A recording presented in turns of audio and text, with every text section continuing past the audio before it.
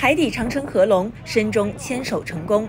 广东省交通集团六月十一日发布消息称，世界最长最宽钢壳混凝土沉管隧道——深中通道海底隧道最终接头推出。贯通测量结果表明，实现了与东侧一二四管节精准对接。历时五年，这座海底长城合龙，深圳和中山在伶仃洋海底实现牵手。它是整个深通道，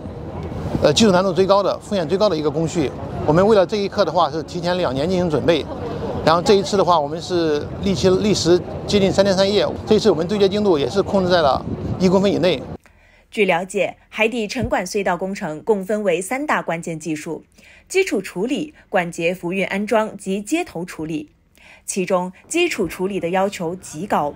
海底二十米至四十米深处基槽开挖精度、碎石整平精度均要求达到亚米级，堪称海底绣花。负责沉管隧道基槽开挖的工作人员就向记者介绍了他们的吸尘神器。呃，我们深刻的这条船，我们号称深海吸尘器，是呃一条装机功率在七千三百千瓦，呃长度呃九十多米，呃然后宽度约十十十六米的专用的一条轻渔船。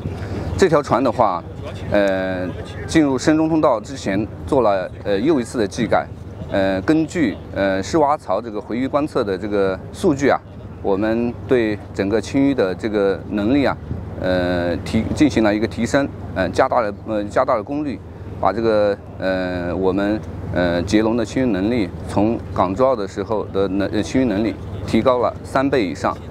为了实现超长距离的安全浮运，并进一步提升沉管安装的精度，深中通道项目部门研发了沉管浮运安装一体船“一航精安一”，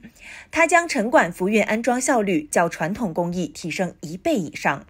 我们背后这个一体船的话，是为了这个大湾区建设特意研发建造的一个世界首制的沉管运输安装一体船，在这船上集合了国内先进的施工管理系统。另外的话，我们是把北斗系统首次应用在沉管的安装过程中，在对接过程中，我们是提出了三步对接对对接法，实现了这个沉管的毫米级对接。毫米级对接的话，相当于我们在水下四十米将两个八安吨的一个沉管可以实现一个指甲指甲宽度的一个对接，这叫毫米级对接。深中通道是当前世界上建设难度最高的跨海集群工程之一，是粤港澳大湾区核心交通枢纽工程，集桥、岛、隧水下互通于一体。